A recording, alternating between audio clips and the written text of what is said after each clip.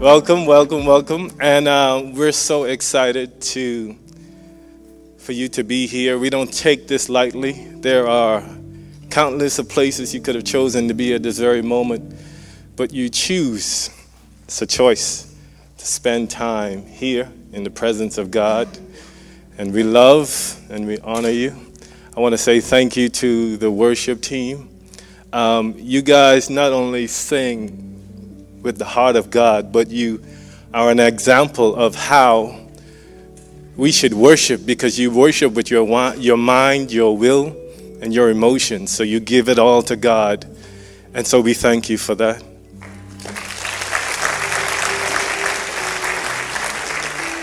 I want to say thank you to the usher staff. Uh, yeah, yes. Uh, I, I, I, there's no uh, position that's more important than the other. We're all one body. And so the simple, kind gestures, the greeting, the smile, the introduction is a beautiful thing. You don't know what someone is experiencing, but simply that smile could change the whole climate in a person's life. So we don't take that lightly. So we thank you. We want to say thank you to the leadership, uh, Pastor T, Sarah Roberts. Um, I'll tell you a quick story. When we were, when we were in the old church, uh, I lost my father, and the first person I went to, I called PT, and um, we met at church, and he prayed for me. And on the plane ride home to the Bahamas, I've never felt such peace in my life, simply because he uh, interrupted his time to come see about me. And so uh, in that moment, uh, I really understood um, what it meant, uh, the power of prayer, and what it means to be present uh, with God. So I say thank you to the leadership. We love you and we honor you.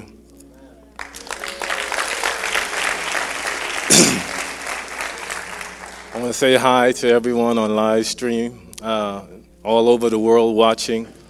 Um, we hope someday that you would come in physically and be a part of our service, but until then, we thank you, we love you, and we honor you, and keep watching.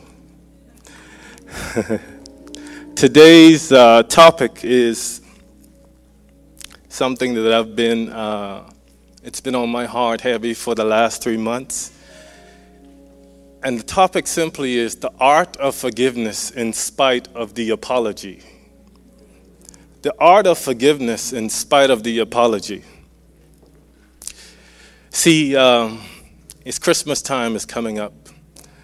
And all of the retail chains, they're sparing no expenses on commercial ads and breaking out all the stuff. They're telling us what our parents and loved ones will want the most without meeting us or having a conversation with us. And every year the cycle repeats itself. You know, we accumulate a lot of stuff and we smile at the gifts and we laugh at it. But in the end, we're not giving our families anything to build memories on. So they open up the gifts, and a year later, everything is discarded, and we say that we love God and we're celebrating His birthday but Christ is not invited. He's not invited simply because we're not exhibiting the Spirit of God. Because we've reduced Christmas, which means more Christ, but we've reduced it to retail chains and for best bargain prices and, and mechanical devices, and we forgot the original reason on why Christ came. So we're celebrating his birthday, but he's not invited. So what if, what if we're still going to give the gifts because I don't want you to anyone to rise up and kill you. We're, we're still going to give the gifts, but what if after they've gotten the gifts and they're overwhelmed by how it looks and, and what it does and how it functions, what if I want to say to you that I forgive you. I forgive you for what you did to me a long time ago, and I've been masking it by buying you a lot of things. But in the end, I'm not exhibiting the true Spirit of God. So this time, I'm, I'm going to do something a little different. I'm going to open up my heart and I'm going to simply give you my forgiveness because forgiveness is simply an act of love. But we've watered down the version of forgiveness because if you look up in the Webster's dictionary, it says simply to stop anger. But that's not the definition of forgiveness. Can we put up the slides that explains forgiveness, please?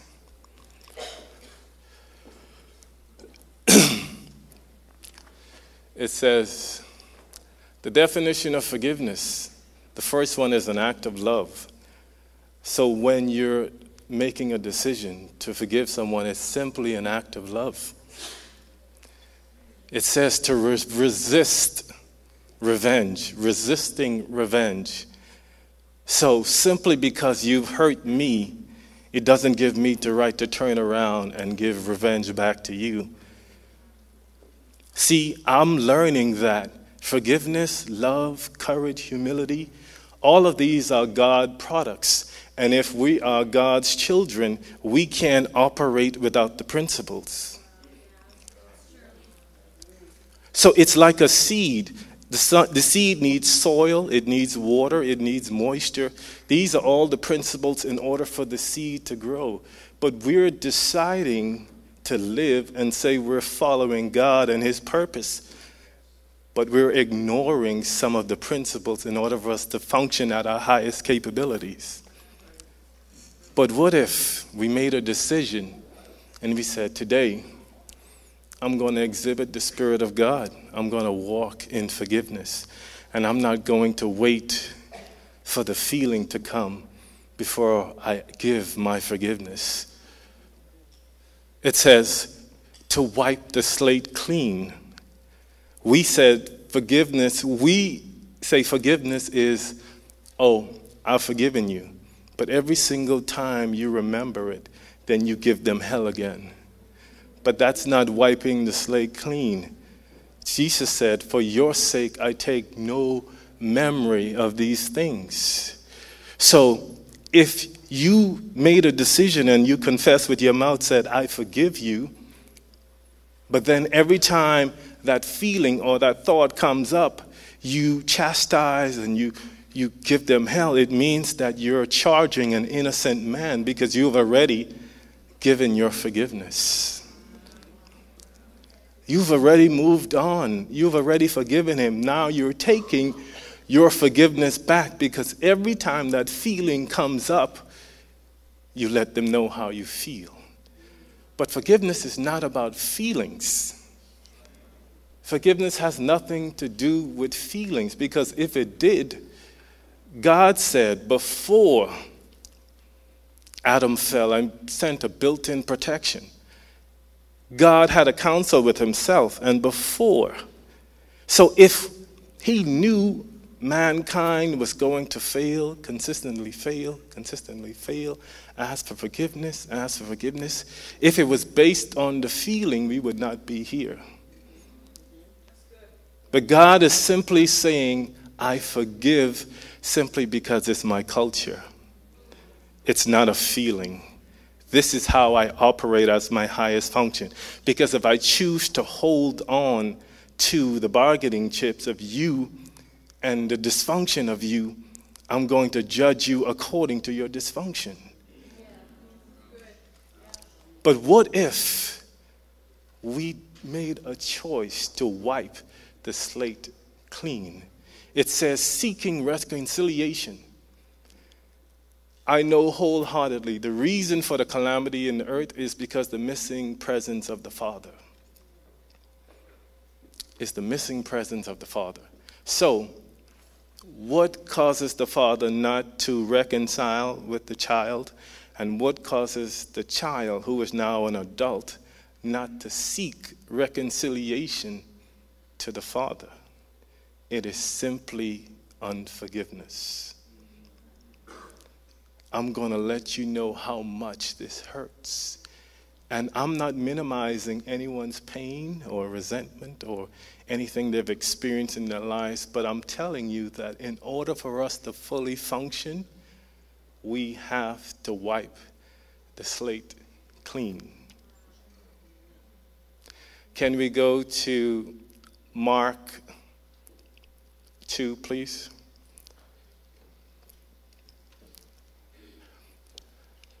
And, and again, he entered Capernaum after some days, and it was, and he, again, he entered Capernaum, and some days, and it was heard that he was at the house. Immediately, many gathered together so that there was no longer room to receive them, not even near the door, and he preached the word to them. Then they came to him, bringing a paralytic who was carried by four men.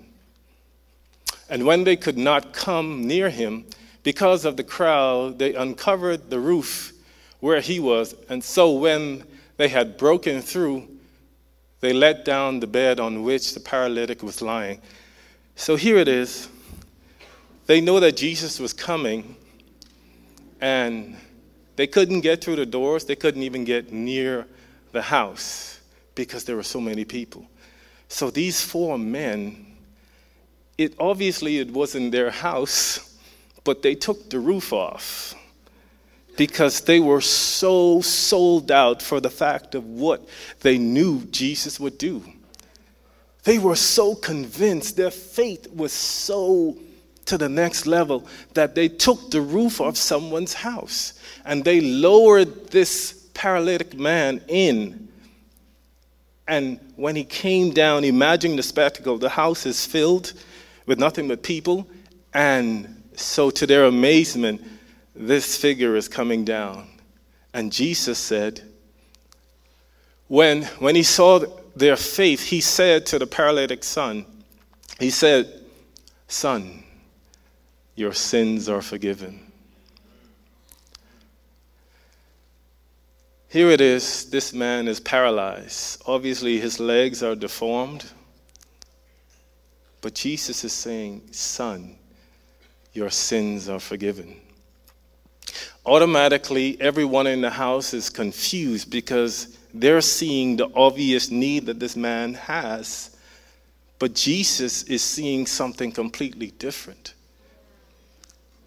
So it says, and some of the scribes were sitting there and reasoning in their hearts so these are the, the lawgivers, the, the guys who are so skilled in, in, in, in the law and the scribe. And they're saying, What is this man talking about? Why does this man speak blasphemy like this? Who can forgive sins but God alone?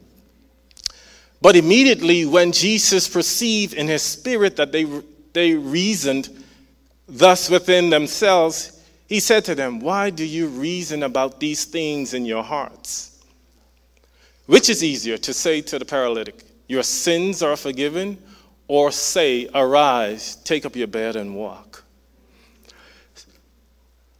Is it possible? I'm just asking a question. Is it possible that his most immediate need was not him walking? What if, what if the position in which he laid was because of his unforgiveness. Jesus is saying, I'm going to trust Jesus rather than the scribes. Jesus is saying, This is the most immediate need is son, your sins are forgiven. Son, your sins are forgiven. But that you may know the Son of Man has power on the earth to forgive sins, he said to the paralytic, I say to you, arise, take up your bed, and go to your house. Immediately he arose, looked up to the looked up, took up his bed, and went out in the presence of all of them, and so that all were amazed and glorified God saying, We've never saw anything like this. So obviously, he did heal him in the end. But God never does anything. Everything he does is with an intention. God is telling us that the crisis in your life, the lack of bills, the bills in your life that are piling up, the pain in your leg, the noise around you, the dysfunctional relationships, these are not your immediate need. Your immediate need is unforgiveness. What if the thing that you go to God the most about, what if all it took was you forgiving all of the things you haven't forgiven before? What if this is what God is suggesting with the paralytic? He is saying, Your sins are forgiven. So the immediate need was simply, You need to know that I have forgiven you. Be free. And then he took, he said, Took your bed and go to your house. Now, the reason why he's saying that is because is it possible that the paralytic made his money because of his deformity? And if he's saying, Take up your bed, meaning I don't want to see you back here in the streets, take your bed and go back to your house. This is what Jesus is saying. He is saying, You are free. You are no longer bound and chained by the burdens of your life. I've taken them. Take up your bed and walk and go to your house. Can we put up the slide that that lists all of the dangers of unforgiveness.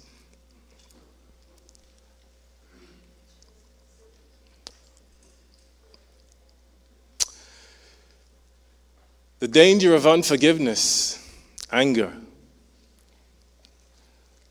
The danger of unforgiveness, anger. When you don't have, when you haven't forgiven it means that you're holding on to something. And if you're holding on to something, it literally shows up in your disposition. So there's anger, there's sickness. Because sickness, because you're holding on to that stress and holding on to all of the things that have happened to you, now all of a sudden your immune system is breaking down because we're not meant to carry all of that excess baggage. And so a tumor is simply an overgrown cell that has grown too fast. And nothing could be more depressing than coming home. So we got two people in the house and they walk by each other in the hallway and there's no love, there's no feeling, simply because neither one has the courage to say, I forgive you. Can we sit down and talk about this? God said, I need to exhibit all of his principles in order for me to function at my highest capabilities. And if that's the case, why am I choosing, because it's a choice, why am I choosing to hold on to this anger? And it's costing me. It's robbing me of my freedom, it's robbing me of my health, it's robbing me of my finances, it's robbing me of my relationships. So I have depression on my life. I'm unavailable to be used by God because there's another residence that have taken up host in your heart. So you can't be used simply because you have unforgiveness. And in that unforgiveness, there's broken relationships. And because of the broken relationship, life becomes an experiment and we put foreign substance in our bodies. It's not a coincidence. The minute you decide, the minute you decide not to forgive, it's a slow, steady pace down to nowhere. And who taught us? Who taught us not to forgive? Who taught us that we got to wait for the feeling to come back? Because we grow up in homes where, as a little child, they would tell us, Oh, he did this to me. Tell him you're sorry. Tell him you're sorry. And now Okay, now I could forgive you. So we learn from the age from zero to five that you can't give forgiveness until there is an apology. So we marinate in the spirit of this thing where it has to be one and then the other. And now we're an adult, no longer with childish toys, but still we function in that same disposition. I'm waiting for the apology. And in the meantime, there's sickness. And in the meantime, there's sickness, there's anger, there's depression, unavailability, broken relationships. Life becomes an experiment, and we're still waiting for the apology.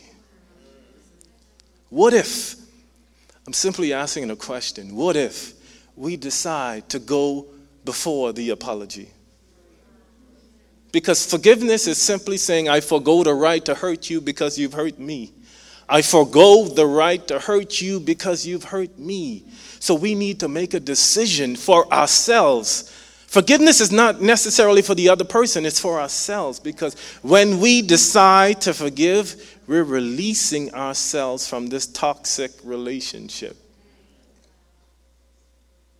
But the culture is saying, no, that's not the way it works.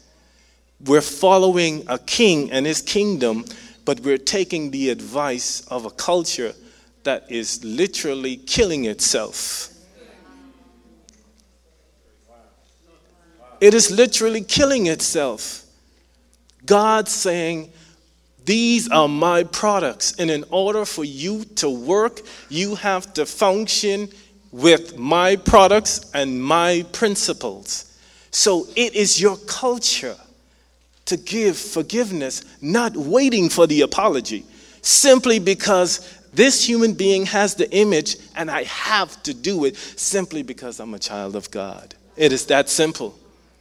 And when we take the emotions, the concerns, the judgment, because when we say, I'm not going to forgive you, we have become the judge. We are saying, God, you're not going to judge him accordingly the way I would, so I'm not going to give the apology.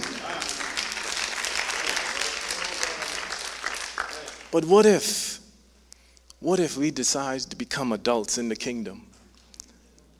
What if we decide to become adults in the kingdom and I say, I am simply going to decide I don't care what my mother did.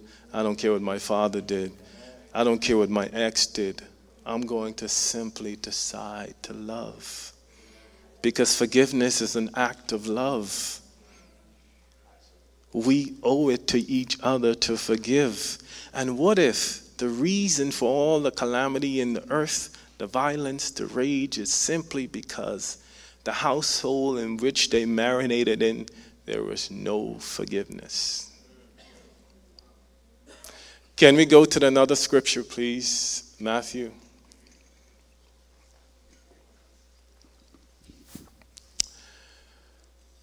Should you not all should you not also have compassion on your fellow servant, just I had pity on you? Keep going. Oh, let's start from the top of it, please.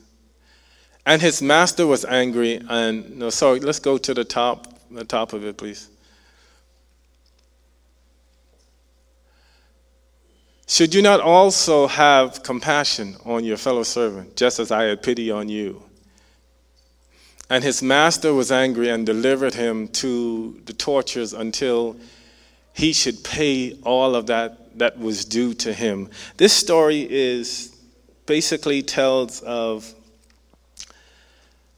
they asked Jesus, How much time should you forgive someone? And, and, and Paul says, Seven. And then Jesus says, No, seven times 70. And um, Jesus is saying, He gave him a parable. He is saying, The kingdom of heaven is like a master who have come to collect his debt. And this servant has accumulated tens of thousands of talents. and he is getting ready to sell his his wife and kids and everything, and, and the servant begs for mercy. And then the master says, Okay, I will wipe your debt clean. And as he leaves and goes into the village, he sees someone who owed him. he sees someone who had another servant who had owed him much less. And he said, Pay me what you owe me. And he took the man and choked him. And then he had the man put in jail simply because the man had, didn't have the means to pay. And so when the servants saw this and they went back to the master and they told the master what this servant had done, he brought the servant back to him and he said, Didn't I not have mercy on you? Why would you do this to this other servant? And so he took everything that he had, all of the things that he had garnered, and he said, I'm going to put you in prison until you can pay it all off. So here's the moral of the story. The moral of the story is God is saying, I am forgiving you even before you ask. But why can't you do that for your brothers and sisters? When your the price that you have cost is more than your brothers. Why are you not willing to pay the price? This is, we got to get to a place of unforgiveness, of forgiveness. We got to forgive. We got to forgive. It is our culture to do so. It's an act of love. Can we go to the other slide, please? These are all the benefits of forgiveness, love. You have the freedom now to love. You have the freedom to be present simply because love coincides with forgiveness. And it simply means that I am available to be loved in spite of what you might do, simply because I know that I have the capability to forgive you and your flaws. I'll say that again. Love is suggesting that I am ready to take someone on simply because I know that my Father will allow me to forgive you in spite of everything you may do. So I have the confidence to love you. Freedom. I have the freedom to love because I'm not tied and burdened down by my unforgiveness and past ex boyfriends and ex girlfriends and what my, my cousin did and what my father did. Humility. It takes humility to give forgiveness. And in order for us to give humility, we have to put ourselves lower than the other person. Because humility simply means I'm willing to meet you more than halfway in order to meet the demands of what we need to do in order to make this right. Testimony. We cannot have a testimony if we don't have forgiveness. Here, listen, look at all the things that we are robbing ourselves of if we choose not to forgive.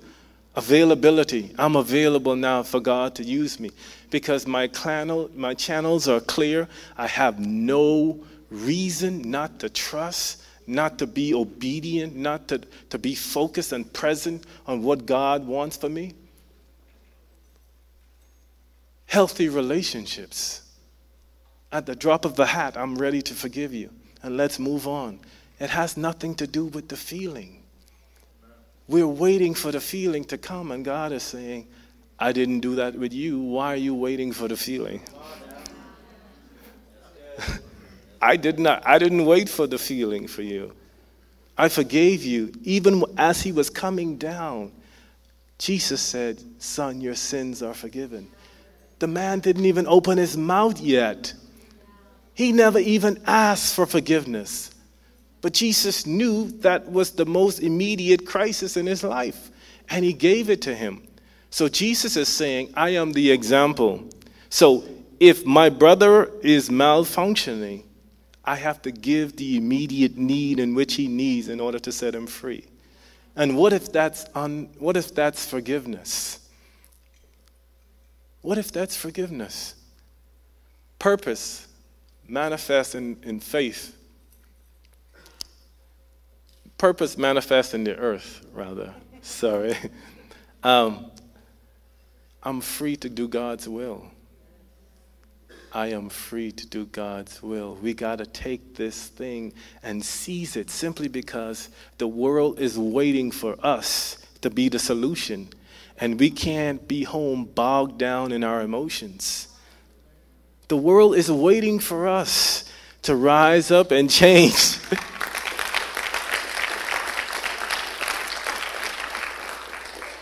And if they're waiting on us, what if the Bible says, where there is no vision, the people perish? They didn't say where there's no collective vision. Where there is no vision, the people perish.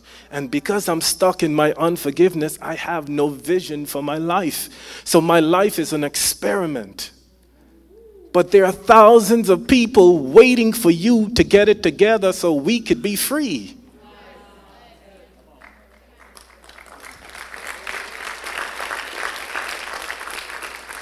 What if Mother Teresa decided that I was going to stay in my emotions?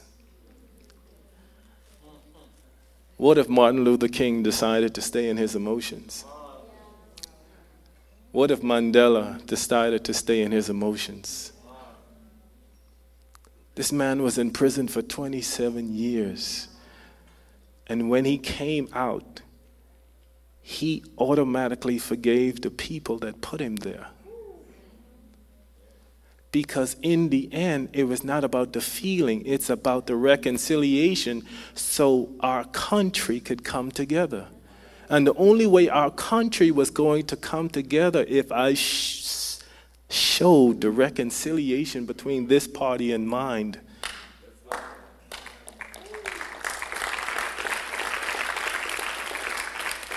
He didn't wait for the feeling to come back. 27 years of his life.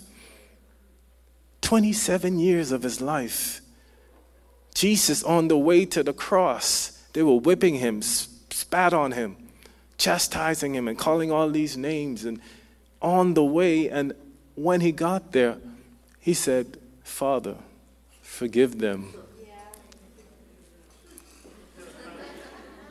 He said, Father, forgive them because they know not what they have done. Is it possible that the people that have wronged us didn't know the extent in which they were doing?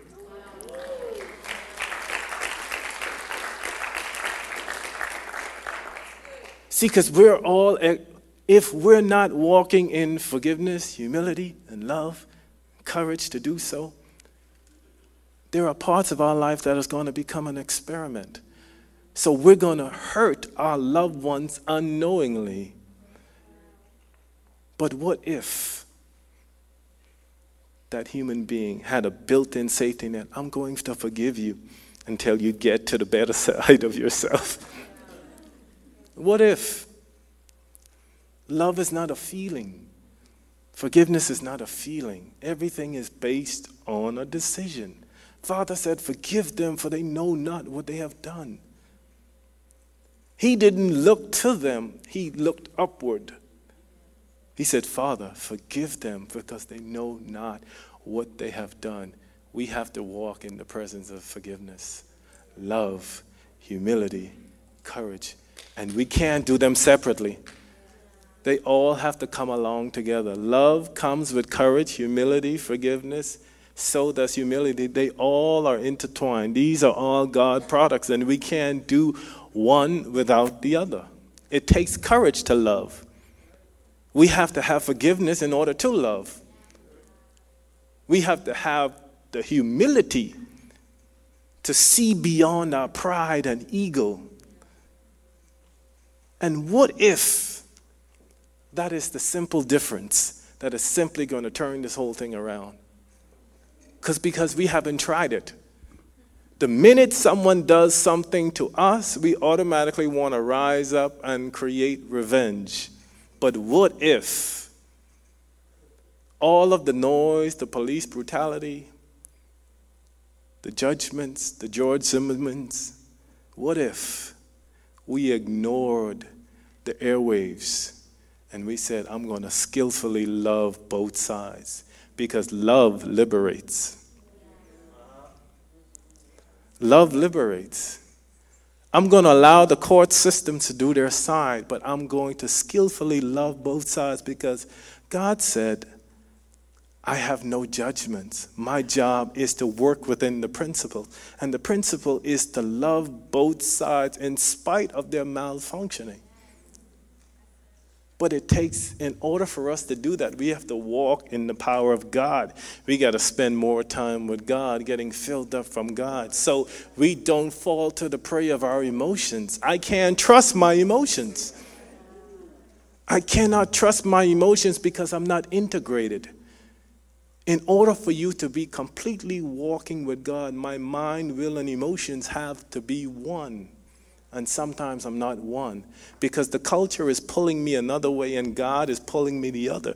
So my mind, my will, and emotions are not one. So, in order for me to make the correct decision, my whole being has to be sold out about what God wants to do and how He wants to do it.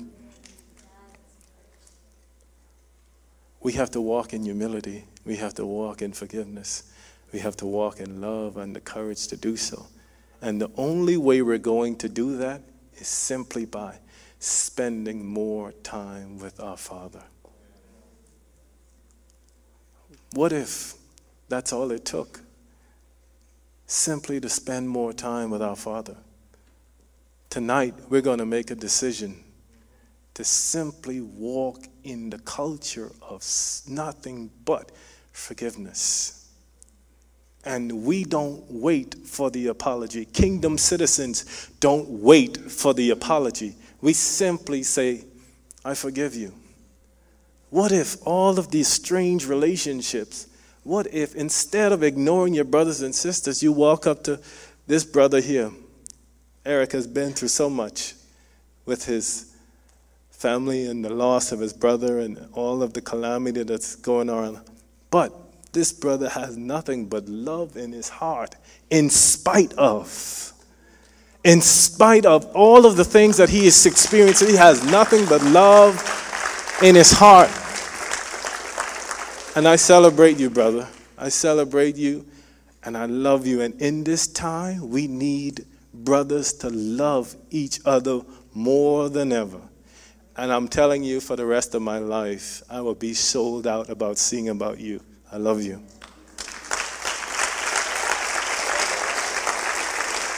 What if, what if we decide to have the courage to love? I know I'm macho, I know I have an ego, but let's get to the love. At some point, we're going to have to get there. So, can you stand with me, please?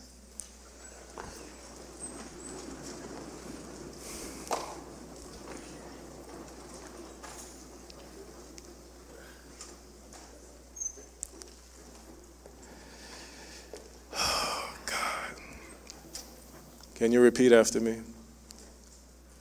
Father God, I thank you for your love.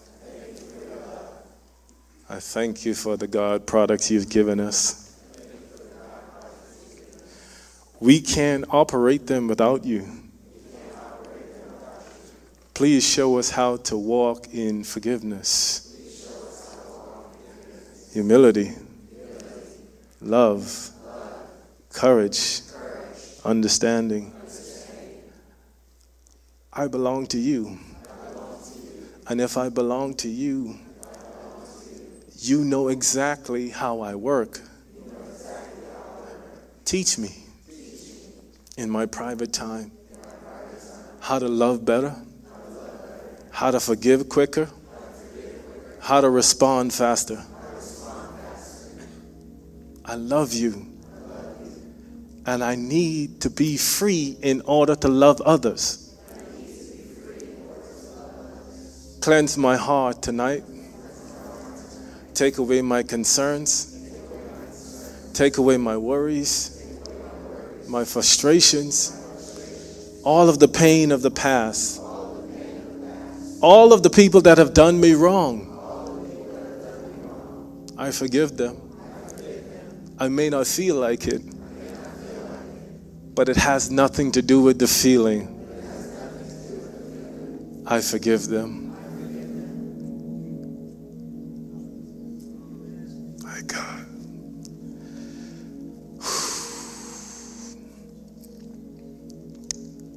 We're not going to take this lightly. I simply want to say to you, those of you who are dealing with the tension of unforgiveness, and you know you need to release it, not for the other person, but you need to release it for yourself in order to be free and to walk in the power and everything God has given you. And if you want to release that tonight, can you come down for me, please? Can you just come down?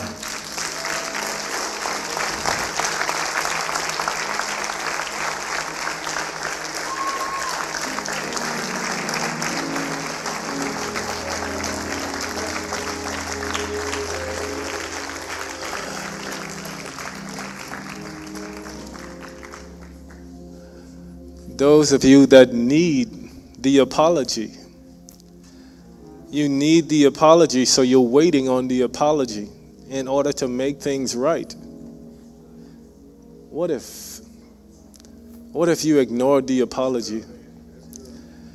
What if you ignored the apology? And the next time you see that someone, that image of God, you simply say, I forgive you, brother. I forgive you, sister. I forgive you, father.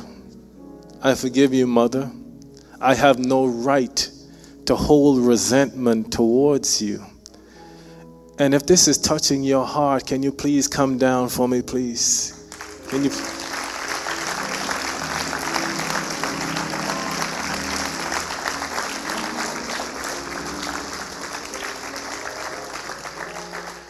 We can't go any further with this baggage, excess baggage holding us down. We can't go any further. I know this by example. We can't go any further. We have to move. Love is an action word. You can't say, I love someone and stand still. So let's move in the area of forgiveness. Let's move in the area of humility. Those of you who have strayed away. You know what the forgiveness of God feels like. You've walked in the power of His forgiveness. But circumstances and certain situations have caused us to stray away. But it's time to come back to the atmosphere of God. And that's you. Can you please come down for me, please? Can you please come down?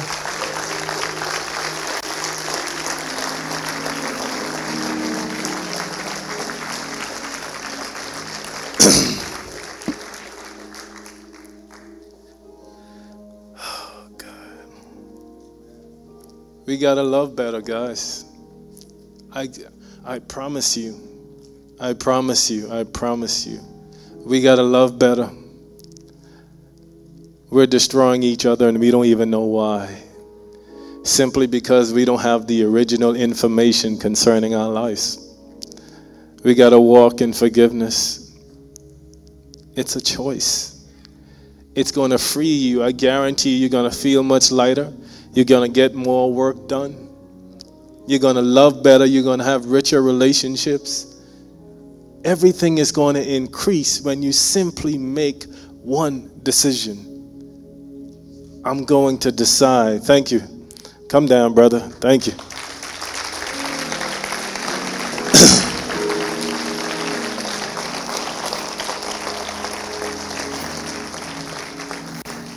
we can't do this by ourselves, guys. We can't do this by ourselves. We need each other. We need each other. We need to share the love of God in our lives because the way God reveals himself to me is different from the way he does to Pierre. And when Pierre tells me how God has introduced himself in his life, it gives me more weapons to love more. So we got to share the love of God because he's going to introduce himself in all kind of different ways and we're going to be benefited for it so can you close your eyes and pray with me please put your hands over your heart please mm. father god can you repeat after me please father god I thank you for your love. I thank you for giving me vital, loving, functioning, a generous heart. I want to do your will. Increase me. I want to walk in more forgiveness. I'm not settled by the bit of love that I'm giving. I know that I could be better, and I will be better. I love you. I thank you for loving me perfectly. And I'm going to make that decision to do that to my brothers and sisters simply because they deserve it. Has nothing to do with feelings, has nothing to do with emotions. But I am going to choose to love, choose to forgive, choose to walk in humility because it's my culture to do so. So I'm wiping away all of the reasons why I shouldn't. Because I have no reasons. If I am following you, then you are my reason. I thank you for your love. I thank you for protecting me. I thank you for keeping my family safe. I thank you for health and strength all of the things that we take for granted. This day, I, am, I choose to be better. And I'm going to be more appreciative of everything you're giving me. And I'm going to be your foot soldier in the earth. And my love is going to be so radical it's going to change the climate. So get ready. I love you. And I'm sold out for you. And we seal this in the mighty name of Jesus. Amen.